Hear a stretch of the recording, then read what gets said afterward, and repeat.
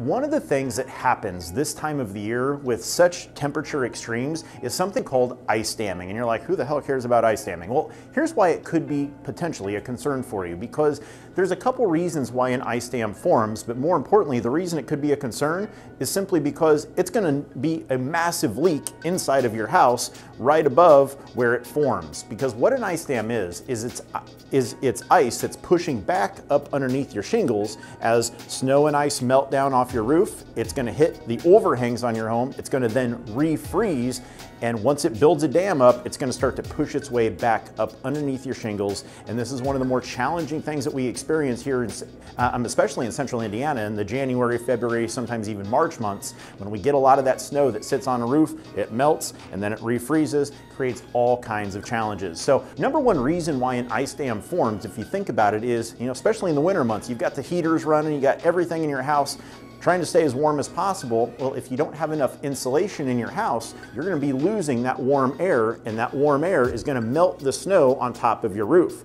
Well, if the snow is melting on top, but it's still freezing outside, that water's gonna run down your roof, then ultimately, once it hits the gutter line, it's gonna refreeze, starting to form that ice dam. Okay, another thing that we can do to really help prevent an ice dam from forming is make sure that we have proper ventilation for your roof. Okay, making sure that we get any warm, moist air out in the wintertime, getting excessive heat out in the summertime is gonna be one of the main components to helping prevent ice dams from forming to begin with. So having proper insulation in your home, having proper ventilation for your roofing system are the two key things that you can do to help prevent an ice dam from getting back into your house causing a big, big problem. Now, certainly you don't want to have to replace your roof to prevent an ice dam from forming, but when we do replace a roof, one of the things that we at Roofco do every single time is we install an ice and water shield barrier on your on your, your gutter line. This is a more aggressive membrane that actually seals down to the roof decking and actually in essence waterproofs that section of the roof.